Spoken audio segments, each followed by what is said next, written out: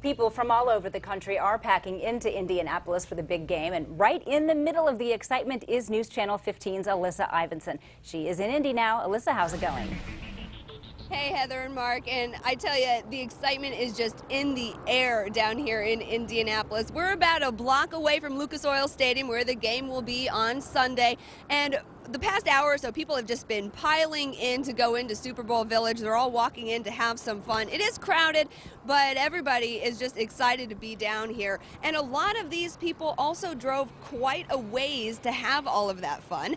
We talked to one guy who flew in from Connecticut and a group who drove overnight from Pennsylvania. The Steelers fans don't have game day tickets, but for them, the experience of all the Super Bowl excitement was worth the six and a half hour drive.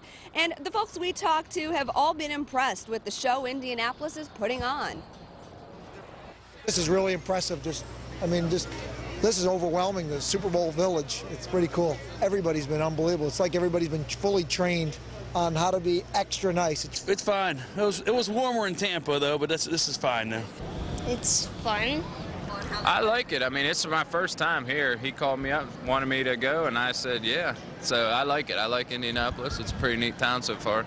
So uh, fun. I can't wait to see more.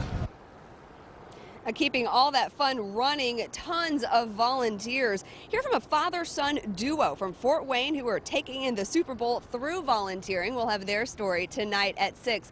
And I tell you, another thing really adding to all of the excitement and the fun, this weather. Yes, it is February, and yes, I am not wearing a coat. And a lot of people said that really is just a cherry on the top of all of the Super Bowl fun. We're live downtown in Indianapolis. Alyssa Ivinson, News Channel 15.